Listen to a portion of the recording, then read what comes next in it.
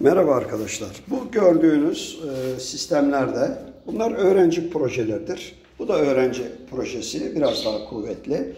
Bunlar e, yine öğrenci projeleri veya başka projelerde de kullanabilirsiniz. E, alternatörlerdir. Klima fan motoru, vantilatör motorundan yapılan modifiye alternatörlerdir. Bu da fırçalı tabla. Üzerine alternatör monte edilmedi. Bunlar da isterseniz bunun da üzerinin şapkasıdır bu. Ee, bu da ayrıca bir pervane. Yine saçtan. Bu pervanenin bir kanatı 50 santimdir. Komple e, 100 santim, 5-10 e, santimde orta açıklı olsa 110 santim çapında 3 kanat pervanedir. Bunlar da öğrenci projesi olarak e, gönderebilirim. Şu gördüğünüz vantilatör motoru bakın şöyle döndürdüğümde bunlar led yakar. Aküleri şarj etmez. Bu da aynı şekilde bakın. Bu 220 değildir. Onu özellikle söyleyeyim. 12 volt içerisinde e, led vardır. Şu ise 220 volt ampuldür. Bu da bu biraz daha büyük projelerde kullanabilirsiniz.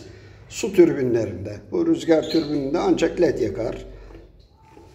Bunlar da isteyen arkadaşlara gönderebilirim. Bu da aynı şekilde bakın.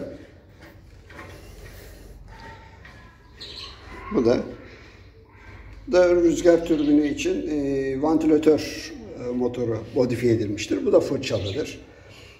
Gördüğünüz gibi 360 derece döner. E, bu da 1 metre çapında e, kanatımız. Yani 50 santim, 50 santim, 10 santim de açıklığı olsa 110 kuyruğu. Hepsi bir takım olarak isteyenlere gönderebilirim. Bu da küçük bir projedir. Bakın. Burada da şöyle bir çevirme hareketiyle yanmaktadır. Bu da küçük bir öğrenci projesidir.